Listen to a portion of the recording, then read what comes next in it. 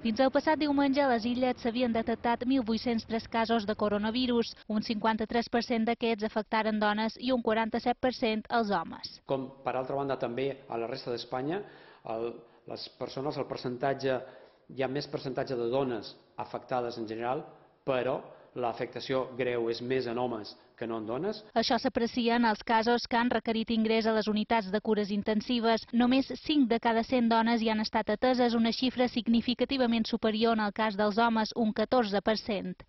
En qualsevol cas, els ingressos a l'UCI han estat els més excepcionals, un 9% de tots els casos de coronavirus a les illes. El nombre de pacients tractats a planta o bé a domicili han estat molt similars, un 45 i un 46% respectivament.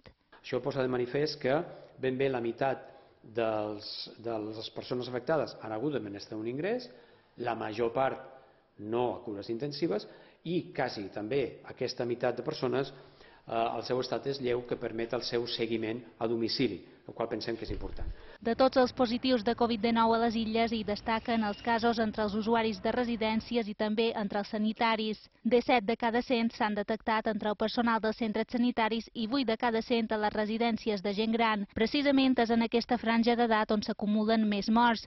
61 de les 157 registrades a les illes fins diumenge corresponen a persones d'entre 80 i 89 anys. La mitjana d'edat de les defuncions és de 84 anys, la dels casos de Covid en general de 56 anys.